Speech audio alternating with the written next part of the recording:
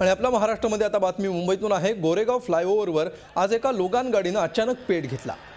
गाडीचा मालक अगोदरच गाडीच्या बाहेर आला त्यामुळे सुदैवानं जीवितहानी टळली. पण फ्लायओव्हरवर गाडी पेटल्यामुळं जोगेश्वरीवरनं गोरेगावकडे येणारी वाहतूक विस्कळीत झाली होती. कोळसा झाला.